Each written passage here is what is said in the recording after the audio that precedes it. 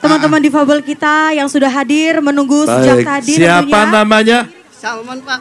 Siapa? Pak Salman. Pak Salman. Pak Salman asli dari mana? Kalimantan asli Pak sini Pak. Lahirnya di mana? Di Balikpapan. Lahirnya di Balikpapan. Apa yang ingin Pak Salman sampaikan kepada saya? Terima kasih Pak. Mana? Terima kasih yang ingin saya sampaikan.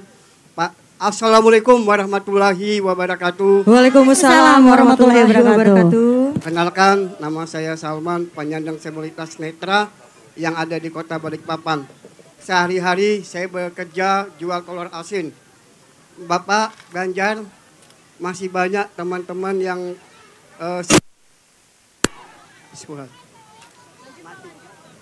Ya. masih banyak teman-teman yang ada di mana saja penyandang disabilitas kurang perhatian Pak.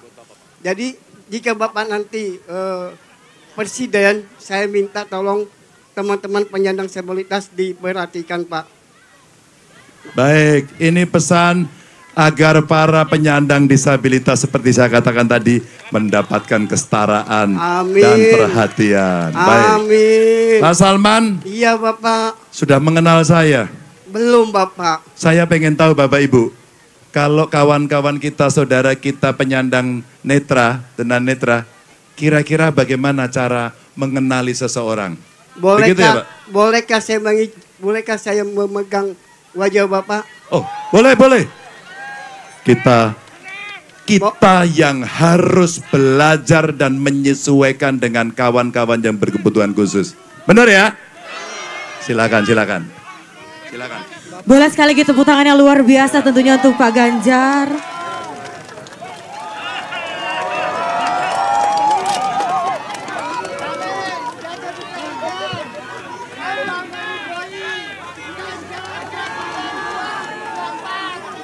Bisikan Pak harapan Bapak.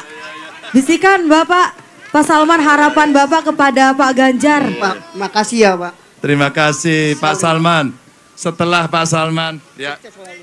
Setelah Pak Salman meraba wajah badan saya, apa yang ada dalam pikiran gambaran Bapak tentang Ganjar Pranowo? Insya Allah Bapak orang yang jujur. Amin. Mudah-mudahan Bapak bisa menjalankan pemerintahan ini lima tahun sampai selesai. Lanjut lagi ke selanjutnya 10 tahun. Amin. Ini harapan saya Pak. Tapi- selalu buat Pak Nanjar. Ya, tapi setelah mera- meraba wajah saya, rambut saya, badan saya, yang dibayangkan apa Pak Salman?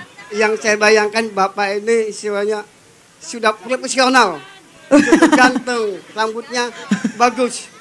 Ya, ya, ya, ya, ya. Pak, salam sama Pak Mahfud ya Pak. Oh ya, Wah. Pak Mahfud, ada salam dari Pak Salman penyandang tunanetra yang ada di Balikpapan. Sudah lama saya pengen ketemu, tapi belum ketemu Pak. Mudah Oke, bisa ketemu. ini ada kamera, sampaikan begini di depan kameranya begini.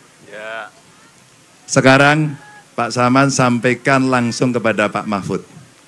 Assalamualaikum warahmatullahi wabarakatuh.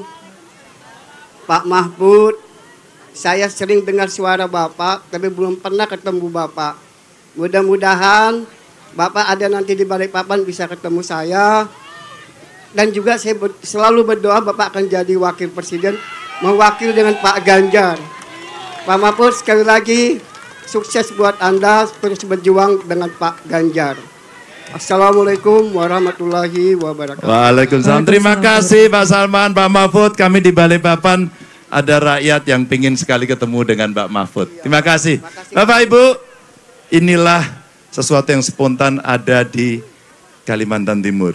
Selama perjalanan saya berkeliling seluruh Indonesia berkampanye, baru kali ini saya bertemu bersentuhan langsung dengan tunanetra, meraba, menyampaikan pesan, insya Allah tulus, dan yang begini-begini ini sulit untuk dilupakan.